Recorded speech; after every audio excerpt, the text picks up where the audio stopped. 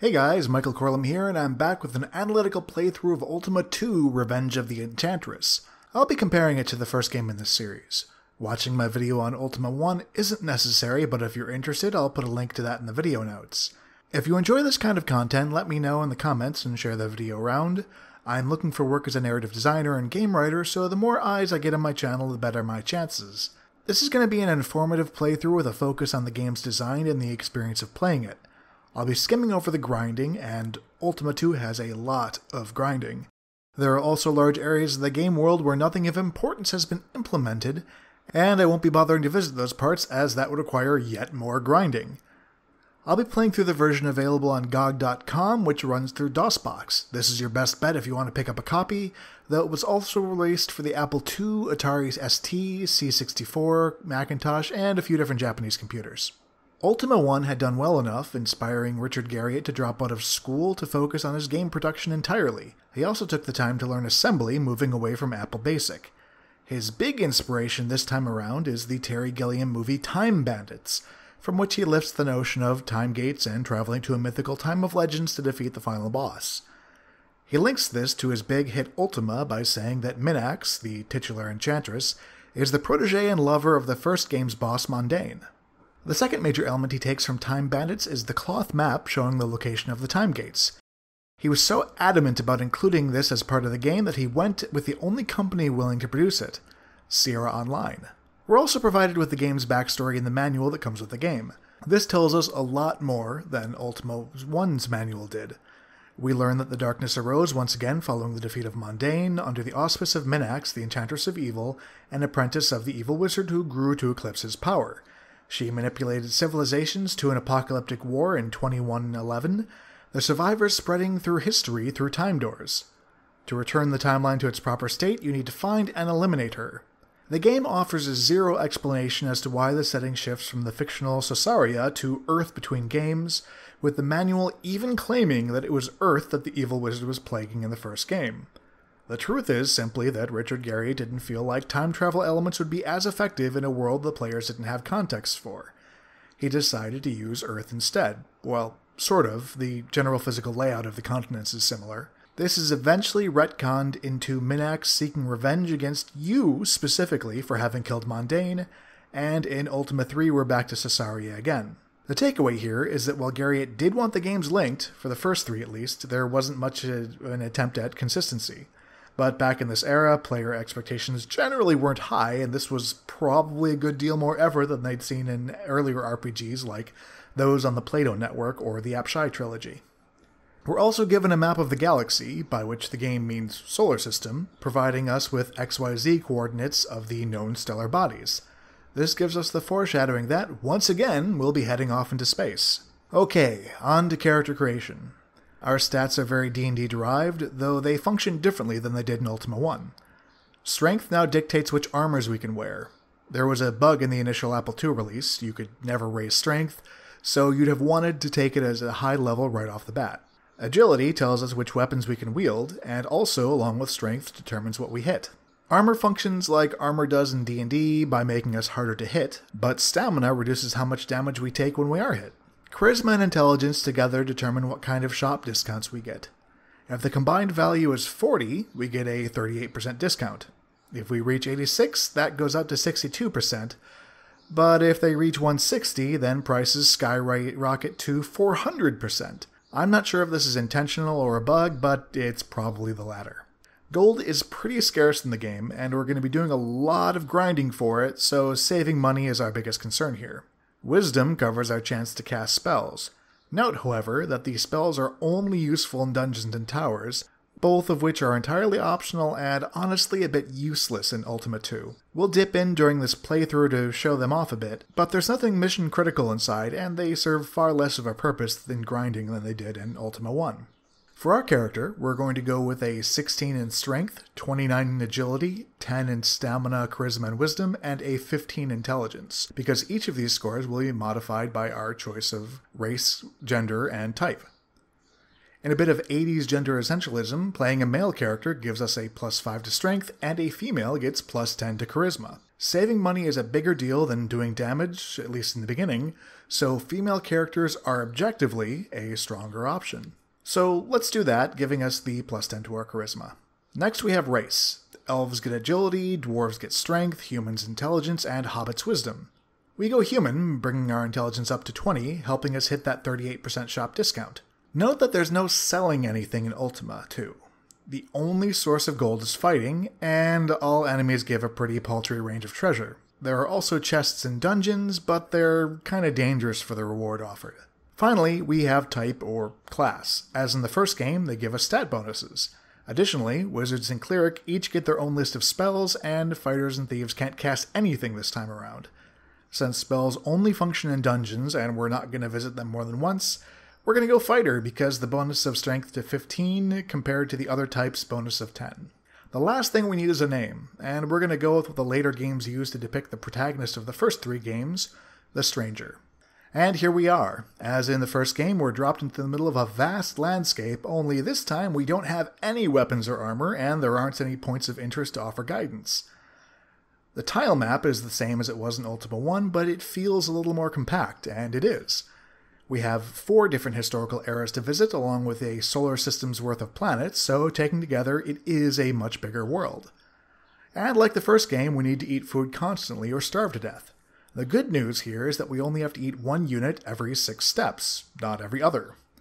Unlike the first game, this rate is not reduced in dungeons or towns, making the dungeons even less useful for grinding.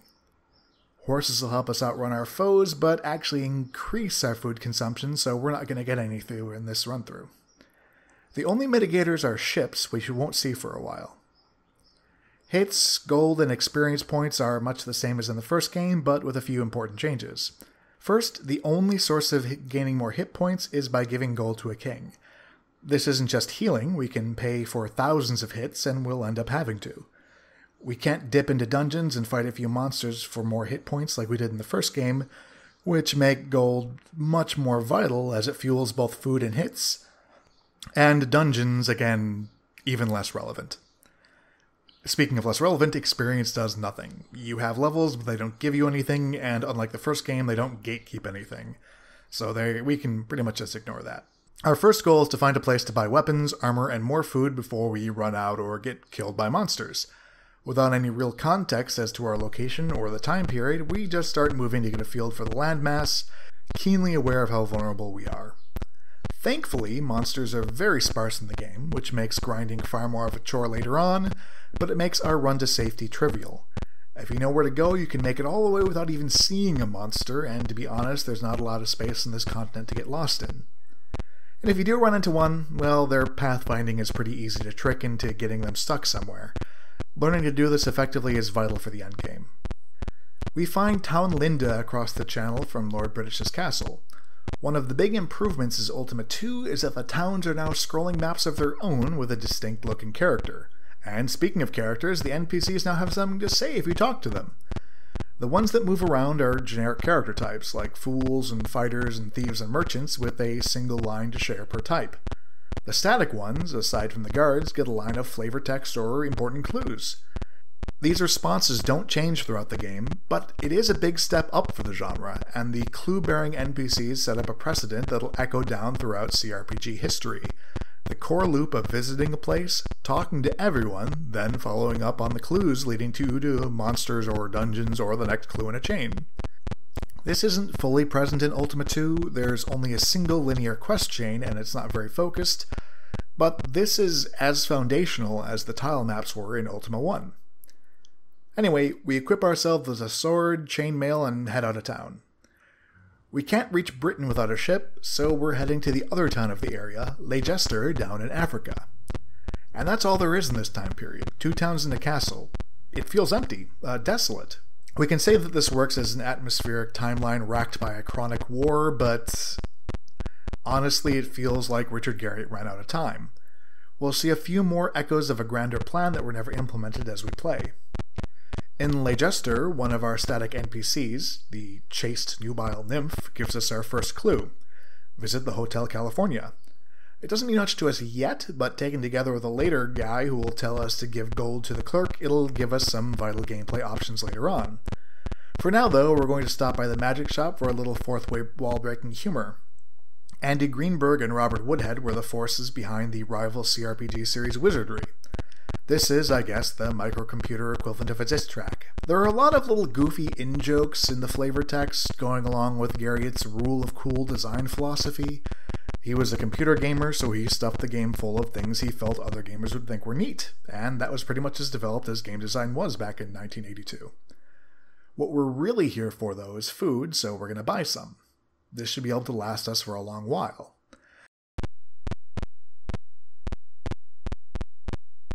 And now it's time to grind.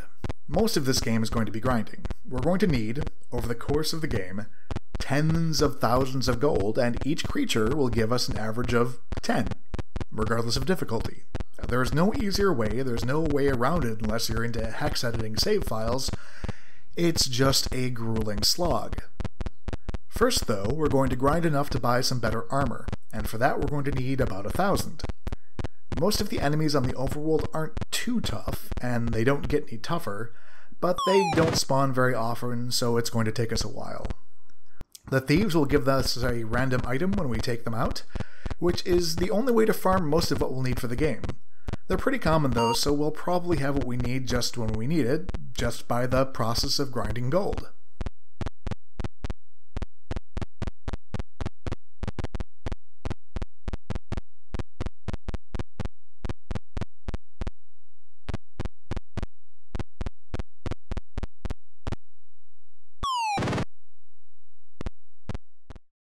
Alright, I've killed about a hundred monsters to get enough gold for Reflect Armor. The monsters will hit a lot less often now, which is good because we can't yet get across the water to pay Lord British for more hit points. For that, we'll need a ship. There's only one way to get ships in this time period steal them from pirates. Vehicles in Ultima 2 require items to operate, and for ships, it's a blue tassel. We've already got a few from thieves while we were grinding, so no problem there. However, ships spawn rarely. Very rarely. So I'm prepared to spend another 10 minutes to half an hour wandering around until one shows up. Once we have one, we can continue grinding from the sea, and our ship's cannons are one of the best weapons in the game.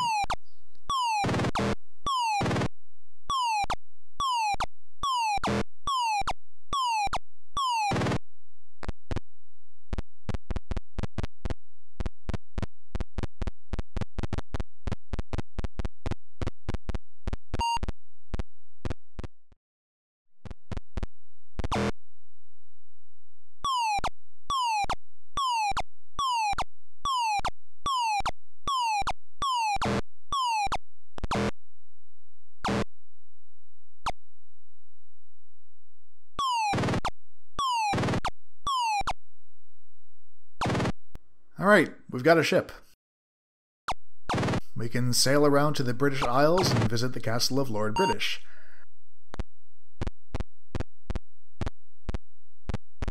This is our primary means of earning more hit points. For every 50 gold we give him, he'll give us 300 hits.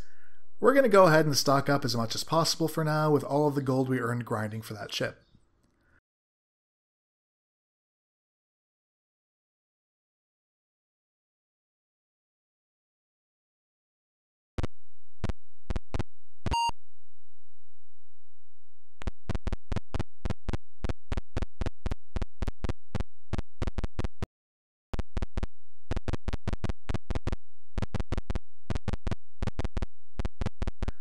While we're here, we're also going to pick up our first real clues over in the chapel.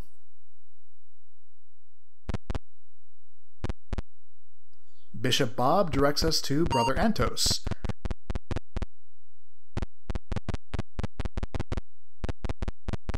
And Brother Antos tells us to search the stars for his kin. That is as direct as the game is going to get. We're not told that this will help us with Minax, or even directly that it's a quest instead of flavor text. In fact, none of the game's NPCs mention Minax or your quest to defeat her and fix the timeline. The next step is going to be heading off to the far off future of 1990 through the time gate. However, there's a problem. We can't bring our ship with us. Time gates only appear on land, so we're gonna need a new ship on the other side, which means grinding for another one. Before we go, we're gonna make sure we have enough food and gold to last us throughout the grinding, grinding process. So that's what's next. Uh, fortunately, our ship makes this easier. We don't eat while we're in the ship, and our cannons are one of the most powerful weapons in the game.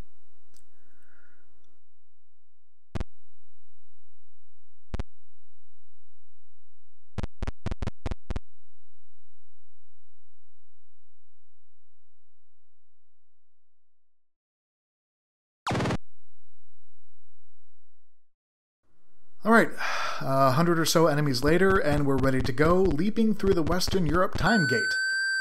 This brings us to 1990, right in front of Lord British's castle again, only in the future. It's almost exactly the same. Time travel is cosmetic. The same creatures inhabit each era in the same mix of medieval and future technologies wherever you go. The towns are different at least, and the landmass does change slightly, but the gameplay is exactly the same. This only makes narrative sense if you squint hard and assume that after Minax caused the apocalypse, the effects rippled backwards through time, and the only survivors are those from the future who fled through the time gates. In reality, though, this is just another symptom of the game's rushed release. With more time, Garriott could have given us more towns per era, differences of enemies, and different shops in different times. Uh, I don't entirely blame uh, online systems, later Sierra Online. Uh, I think Richard really had a problem with scope here, but we'll get into that when we get to the conclusion.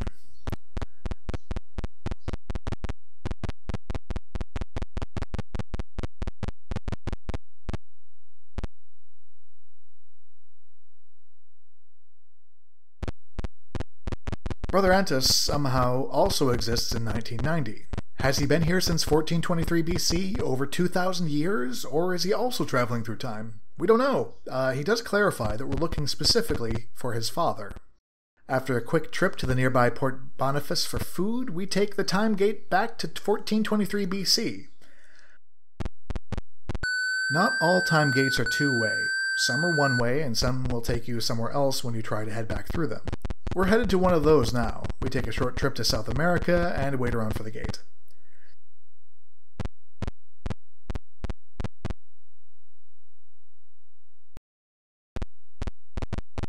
Shows up, we jump through, and we're in the dark, shadowed future of 2112, which looks exactly like every other era for the most part. We're not here for long, though, because we can't go anywhere from this landmass. There's nothing to do except wait for the time gate to return, unless we want to grind for yet another pirate ship, and no, no thanks.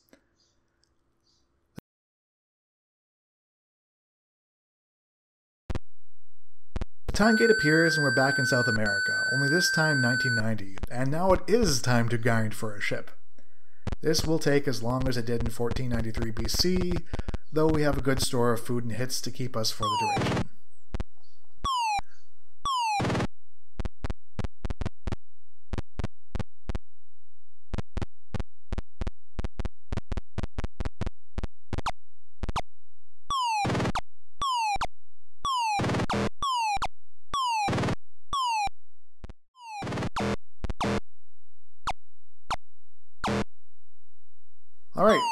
We got another ship. We're not going to sail off anywhere far yet. We've got a little more prep to do. First, by visiting New San Antonio. It's the first settlement we've seen with a more modern design. The tiles are all the same, but the layout is more like a modern city.